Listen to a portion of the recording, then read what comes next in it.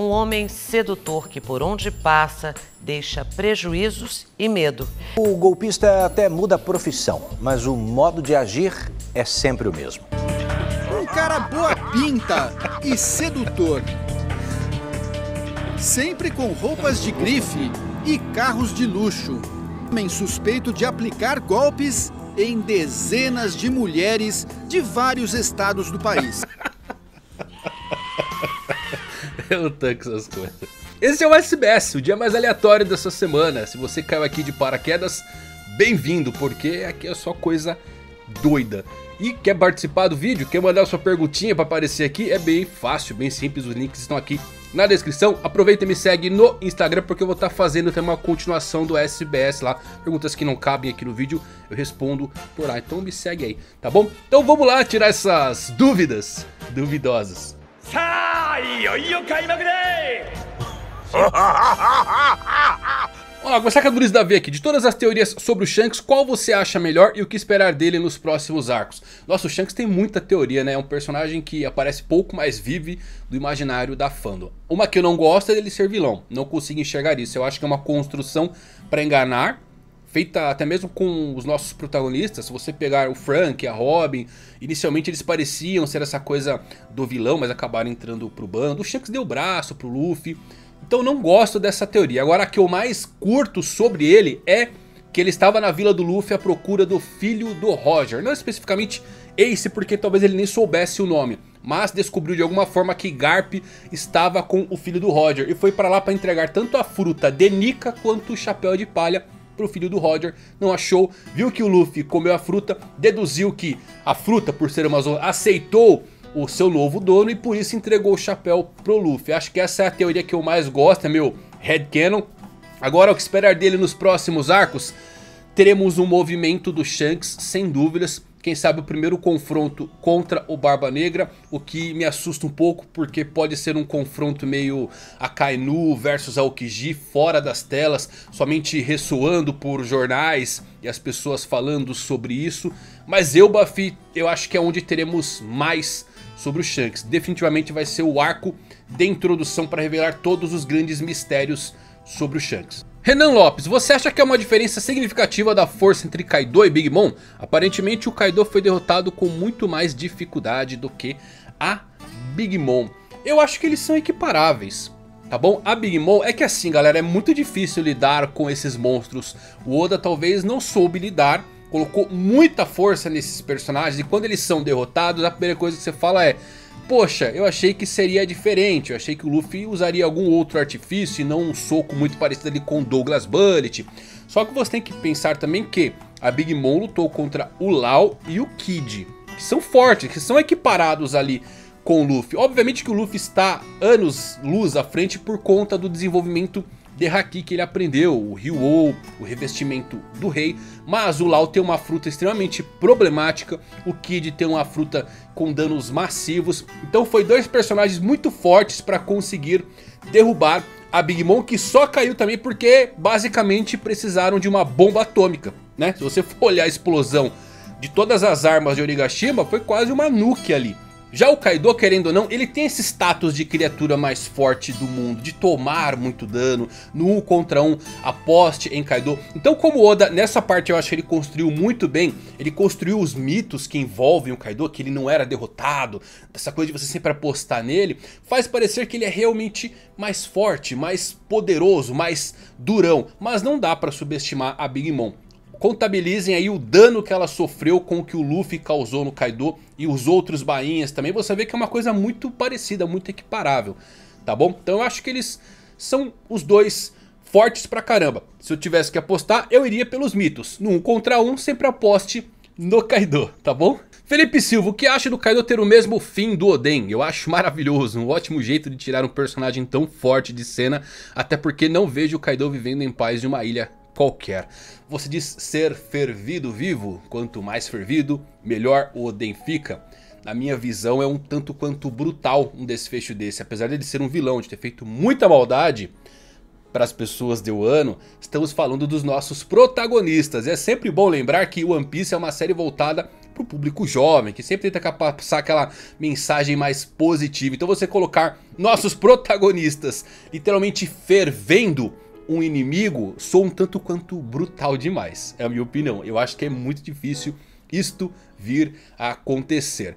Como é que vai ser o desfecho de Kaido? Deve virar uma estátua aí de Kairoseki ficar petrificado, ou ficar ali no magma, ou ser resgatado de alguma forma e não conseguirem tirar, vai ter que ficar esculpindo ali uma estátua do Kaido. Eu acho que o Oda já está construindo, ele foi para um caminho que ninguém esperava, que foi realmente jogar os dois nesse magma. E sabemos que do magma é onde surge o Kairoseki, tá bom? Então o Oda está preparando alguma forma de desfecho para tirar os dois de jogada por um bom tempo. Bananettes, será que se o Sanji pegar uma mulher desperdiçando comida em meio a uma luta contra ele, ele pode ficar bravo ao ponto de bater nela? Eu tô tentando pensar como é que seria uma luta. Uma mulher comendo, lutando e desper... Como é que a mulher vai lutar e comer ao mesmo tempo? Mas...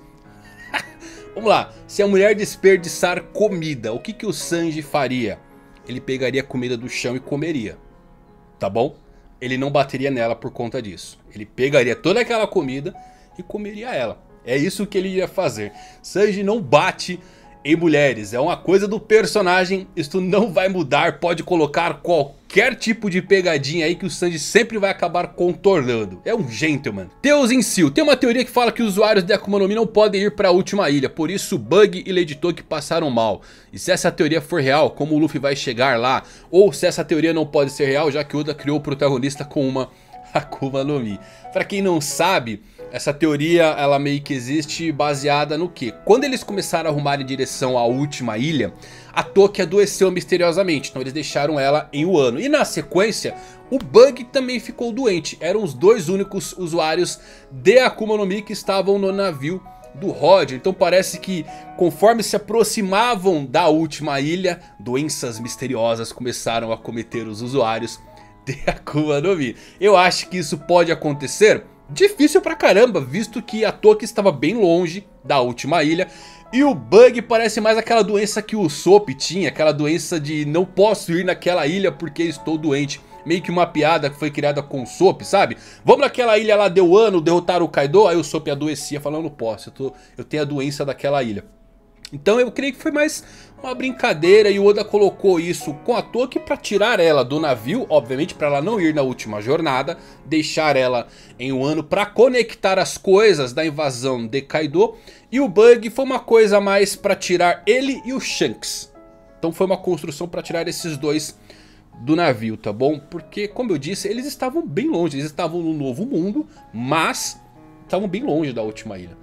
Acho pouco difícil do Oda seguir esse tipo de teoria, de concretizar ela. Mas mesmo que o Luffy fique doente, ele vai pra lá com toda certeza. David Miguel, Yamato vai entrar pro bando dos Chapéus de Palha? Olha, pra mim é praticamente confirmado Yamato entrar no bando. Por quê?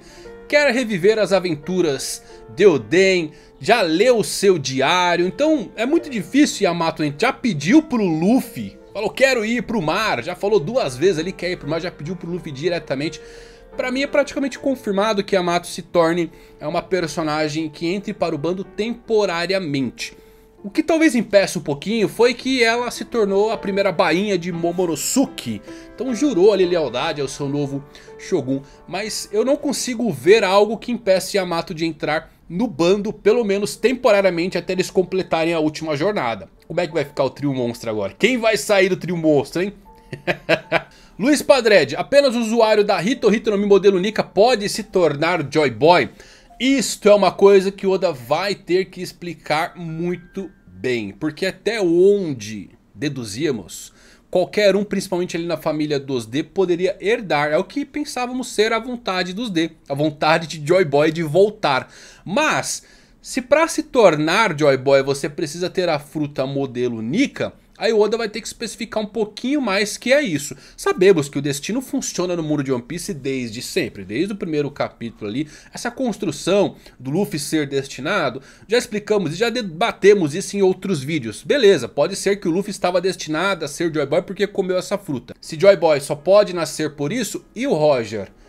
Como é que fica a história dele? Ele não poderia ser o Joy Boy? O que, que ele quis dizer então que ele chegou no tempo errado? Porque se ele tivesse no tempo certo, ele também não seria Joy Boy para realizar a sua vontade. Então é isso que está um pouco desconexo ainda. Precisamos de um pouquinho mais de informações, tá bom? Mas eu acho que tudo caminha que para se tornar Joy Boy, aquele com os tambores da libertação tal, precisava realmente da fruta de Nika. Vamos lá, Gil Santos, você acha que pode existir a Akuma no Mi da árvore e elas possam ser Zoans? Já que plantas ou árvores são seres vivos como os humanos e os animais. Eu acho que tem a possibilidade da fruta do almirante Touro Verde ser uma zoa mitológica de uma árvore. Tem um pequeno equívoco aqui, tá bom? Obviamente que plantas, árvores são todos seres vivos. Mas as zoans pegam mais uma definição de espécie. Aquela espécie que é um organismo que pode se reproduzir e gerar descendentes férteis. Então isso envolve basicamente o que? Humanoides, como Buda, Nika e animais. Então são essas classes que você vai acabar encontrando. Animais mitológicos e parte de humanoides. Plantas, no caso árvores, ou melhor, a madeira, seria um elemento da natureza no mundo de One Piece, na sua licença poética. Cairia nas logias. Então, sei lá, um fulano tem a fruta do cipó. Pensei do nada aqui, a fruta do cipó, que é um elemento da natureza. Seria uma logia? Não. Por que, que não seria uma logia? Porque ele não teria a inatingibilidade seria bem parecido com uma paramécia, com uma fruta do, do Flamingo. A fruta do Mokuton, da madeira, que eu acho que pode ser aqui o Green Button, não a fruta da árvore, mas a fruta da madeira. Sim, muito parecido com o gelo ali do Aokiji, essa inatingibilidade. Então tomaria dano, a madeira fecharia ali, tá bom? Cairia então na parte de logias, elementos presentes na natureza. Panqueca, você acha que há espaço para o Oda desenvolver a respiração de todas as coisas apresentado na luta do Zoro contra o Mr. One? Vimos o Zoro cortando Prometheus e o Brook também. Não parecia ser Haki, visto que aqui não funciona em homes. Olha, eu acho que eu vou fazer depois uma live falando um pouquinho de Wano, porque o Oda ele, ele abandonou diversos sub-roteiros, mini-arcos, pequenas construções que eu acho que engrandeceriam muito a série. Ele poderia ter abordado a respiração de todas as coisas, um pouquinho mais da conexão do Zoro com a vila Shimotsuki, com toda essa... Obviamente que ele pode ainda fazer isso, ainda temos coisas para acontecer em Wano, mas eu acho que o Oda ele, ele abandonou muitos mini arcos que, que tornariam as coisas mais legais dentro da série. Alguns exemplos que me vêm na cabeça que a Hiyori, que pensávamos ser o fazão de Momotaro, que lutaria contra o Orochi. Por que, que ela entrou no castelo? Eu não entendi. Ela entrou no castelo, o Orochi foi atacar ela, ela se encolheu de medo e chegou o Denjiro. Então, assim, são essas coisas que eu não curti muito. Esses pequenos desenvolvimentos que o Oda poderia ter tornado a história melhor. Eu vou fazer um, depois uma live só pra gente falar dessas coisas que talvez o Oda tenha deixado de lado. Muito por conta de acelerar, que eu acho ruim porque às vezes coloca-se capítulos de transições que só enchem linguiça e quando se deve ter um grande desenvolvimento as coisas são muito aceleradas. Eu sei que o Oda ele escreve muito mais do que aparece nos capítulos. Um capítulo de 15 páginas geralmente tem 10, 15 a mais e os editores vão cortando. Então por isso que vemos algumas coisas bem retalhadas. Mas alguns desenvolvimentos a gente pode acabar debatendo. Um deles é a respiração de todas as coisas. Que Oda poderia sim ter utilizado no Zoro e acabou deixando de canto. Não usou, não teve uma lembrança sequer ali do treinamento com o Mihawk. Enfim, vamos deixar isso para um outro vídeo depois. Eu vou fazer uma live e a gente debate mais sobre isso, beleza? Gabriele Hinata. Tem algo que deixou ela muito curiosa. Na nova abertura de One Piece vemos que há três log poses congelados. Durante a queda da Big Mom, ela cita que há uma parte do tesouro One Piece no país de Wano. Seriam esses três log poses congelados? E o anime soltou esse spoiler na abertura, o que você acha? Olha, o Oda deixou imaculado o Monte Fuji, que sabemos que tem um topinho ali congelado onde pode ter algum tipo de tesouro. Como ele não colocou nem mesmo essa erupção, magma ligado ao Monte Fuji, eu acho que ele está guardando algum segredo ali. É onde pode estar esses log poses congelados. Para quem não viu, isso aparece na abertura. Eu acho que é realmente um spoiler. O que, que pode ser esse log pose congelado, galera? Pode ser a indicação de como se chega a God Valley. É o meu pensamento nesse momento. Por quê? Se God Valley desapareceu, não há como você marcar o seu log pose de forma normal, porque a ilha não aparece mais. Não direciona mais os ponteiros da sua bússola. Mas se você tem um log pose congelado apontando para essa ilha que desapareceu, você pode chegar nesse local. Então eu acho que é esse o caminho que vai seguir esses log poses caso sejam utilizados aqui, caso não seja uma coisa aleatória colocada. Mas eu acho que sim, é um spoiler. Sobre a Big Mom falar do ter um pedaço do tesouro One Piece aqui em Wano. Também estou muito curioso para ver como isto vai se desenrolar. Se esse pose pode ter alguma conexão. Mas seria legal se esse log pose apontasse para a ilha de God Valley. Tivéssemos aí uma introdução do que realmente aconteceu com esta ilha. Quem sabe com a volta de Rocks Dizzyback. Yuri Feijão, o que você acha que é o deus do universo de One Punch Man? Realmente a entidade criadora cultuada por diversas religiões? Um monstro que criou os outros monstros? Não consigo pensar em nada muito concreto sobre ele.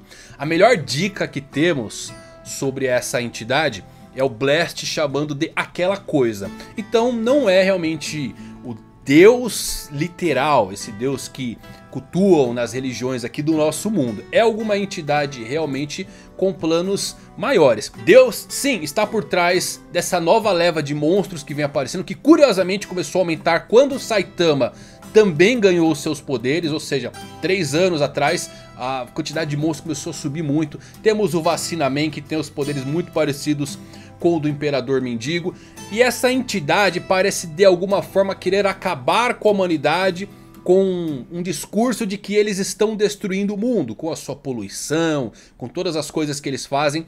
A Deus quer acabar com a humanidade por conta disso. Agora, pode ser um devorador de mundos, talvez. E os humanos estão infectando a sua comida, beleza? Mas acho que a melhor dica é essa. É o Blast chamando a entidade de aquela coisa. Israel Araújo, você acredita que o Griffith teria realizado o sacrifício se o Guts não tivesse deixado o bando? E caso o Guts tivesse permanecido no bando, o Griffith teria conseguido realizar o seu sonho. Então, o Griffith, ele foi totalmente criado através da causalidade. A mão de Deus, ou melhor, a ideia do mal, manipulou a causalidade, fazendo pessoas há muitos séculos terem filhos, esses filhos tiveram mais filhos, e tudo isso para gerar Grift, que se tornaria Fento, ou o quinto dedo da mão de Deus. Pensem que a causalidade no mundo de Berserk funciona bem parecido como controlar o destino das pessoas. Então eles colocam uma certa coisa para acontecer que sabe que futuramente isto vai levar aos planos que eles querem. Guts permanecer teria impedido? Não teria. Em algum momento ele seria seduzido ali por algum dos integrantes da mão de Deus. E aí ele lembraria do seu sonho e faria o sacrifício da mesma forma. Eu acho que o Guts é bem legal porque ele meio que... Ele anda fora das linhas de controle da causalidade. E isto fez o Griffith momentaneamente esquecer qual era o seu verdadeiro sonho, seu verdadeiro objetivo. Por isso que ele meio que se quebrou quando o Guts foi embora. Tá bom? Então eu acho que não tem como, porque o Grift faz parte da criação da mão de Deus. Com toda essa coisa da causalidade que envolve ele. Marlon Marx, sobre o Gear 5, é possível que tenha formas diferentes igual o Gear 4?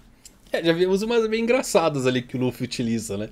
Sim, vai ter algumas... Acho que você quer dizer mais sobre transformações específicas. A coisa que envolve o Gear 5 é a liberdade do Luffy poder se transformar, mudar quase que instantaneamente. Então ele pode fazer um punho do tamanho de uma ilha e depois ficar magrelo, ficar 2D ou se moldar conforme a arma do seu inimigo. Eu acho que não teremos transformações. Cadê o Tigerman? O que aconteceu? O que, que aconteceu com o Tigerman? Fala pra mim. Então não vamos ter um Tigerman aparecendo no Gear 5 porque é essa coisa da liberdade, dele poder se moldar e toda hora ali é, trazendo coisas novas. Só que o Luffy pode acabar tendo uma transformação mais parecida com o Nika, Deus do Sol, de uma forma literal, com os cabelinhos em chamas. Eu acho que isso seria muito legal. Eu pelo menos gostei das fanarts do Luffy de cabelinho de chama. Então seria legal se ele realmente se tornasse a personificação de Nika. Eu creio que tem sim uma carta na manga. O Oda não mostrou tudo do Gear 5, do despertar do Luffy. Tem a luta final contra o Barba Negra, que eu teorizo que vai ter sim um duelo de Haki. Mas antes disso, o Oda ele tem que mostrar a última cartada. O último poder final antes de encerrar a série. Seria bem legal ele assumir a forma literal de Nika. Seria legal, né? E o Tigerman? Cadê o Tiger? Não teve Tigerman. Caramba, meu. E é isso, bastante pergunta respondida. Espero que vocês tenham gostado, se divertido. Deixem suas perguntas aí, aproveita, me segue lá no Insta. Daqui a pouco tem continuação do SBS. E é isso, espero que vocês tenham gostado. Gostiu? Deixa um like. Até a próxima. Valeu por assistir. Fui.